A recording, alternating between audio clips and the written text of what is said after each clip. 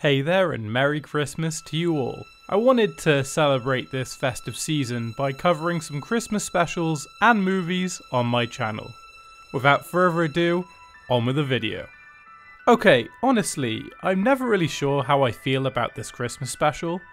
Along with most of the other shows I like, every festive season I find myself rewatching this special, and every year I'm at a loss to whether it's an episode I actually like.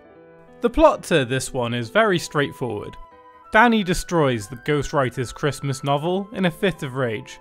So, to punish Danny for disintegrating his greatest work, he tortures Danny by taking control of his life and trapping him in a new festive poem, forcing him to live out the story in a near endless rhyme. I don't really blame the ghostwriter for this. First of all, Danny cheers with glee after doing this, he is so joyful to have destroyed something related to Christmas, which just seems mean spirited and not in line with the holiday. I'm a writer too, and I'm incredibly passionate and proud of the craft. If Danny had destroyed my greatest work, then I think I would have reacted in the exact same way as the ghostwriter. Conceptually, I think this is a great idea for an Xmas special. I even want to commend the writers for creating a 20 minute long poem. I think most writers would struggle with a tremendous task like that. And I think for the most part this works, with the exception of a couple of cringe lines here and there. What's wrong with you, Jasmine? Your brother's out there. Hold down the fort, Jack. I'll go after our tot. Those trees will not stop me.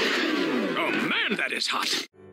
As a newly introduced character and somewhat villain of the flick, I think the ghostwriter was a great choice voiced by the incredibly talented Will Arnett, known for portraying a depressed horse in an incredible Netflix original series, and the Lego embodiment of the Cape Crusader, he does a very convincing job bringing this angry and passionate character to life.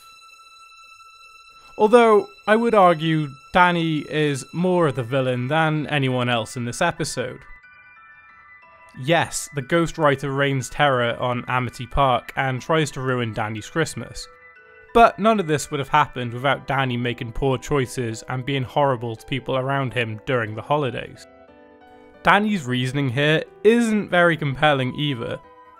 So, the subplot to the episode is Jack and Maddie arguing about whether or not Father Christmas is real. Don't get me wrong, this feels very true and in line with Jack as a character.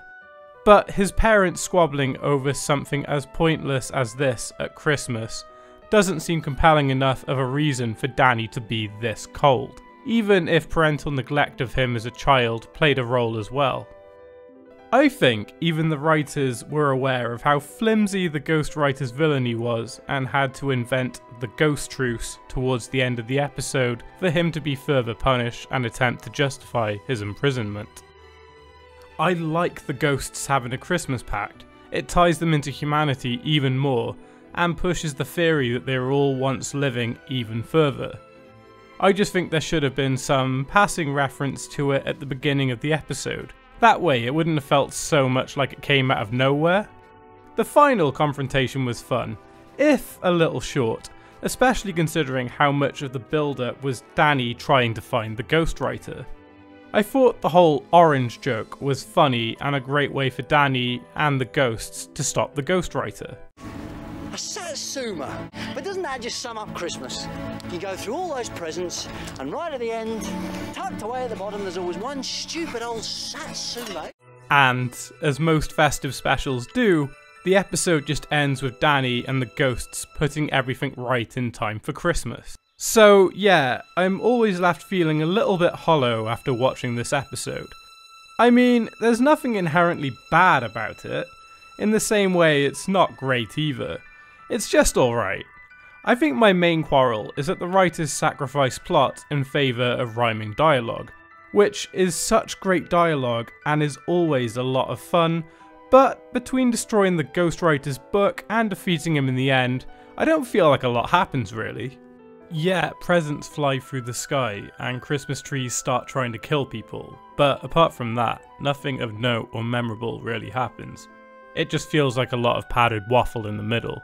What did you think of this episode? Did you enjoy it? If you like what you saw, then please hit that like button and subscribe to the channel. I hope you all have a great Christmas. Stay close as I post new content every single week.